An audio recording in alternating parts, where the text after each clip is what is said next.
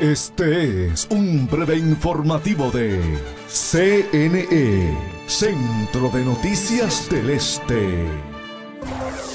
La red comunitaria COVID-19 realizó este lunes otro operativo de toma de muestras PCR, esta vez en el sector de los corales en Bávaro. Los beneficiados de este amplio programa de toma de muestras para contrarrestar la pandemia se expresaron de la manera siguiente. Una ayuda y una colaboración muy grande a la sociedad también para darle tranquilidad al turista que viene, que vea que nosotros estamos preparados para recibirlo. El coordinador, por su parte, de la red comunitaria Alcibiades Rodríguez, lo ratifica y especificó que están enfocados en los residenciales y que se han unido a la causa personas de cualquier nacionalidad. Nos estamos enfocando en lo que son los residenciales.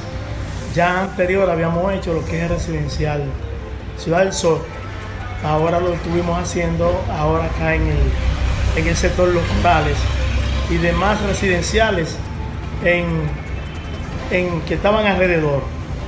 Allí el turista, el dominicano, todo el mundo eh, se prestó para colaborar. La doctora Stephanie Severino Medina, médico epidemiólogo de la provincia, explicó que buscan pacientes infectados para poder detener la propagación de la enfermedad y así romper con la cadena de contagio. Buscando los pacientes que puedan salir positivos de una manera sintomática para poder tomar medidas preventivas con tiempo y poder evitar la propagación del COVID-19. Desde el Centro de Noticias del Este.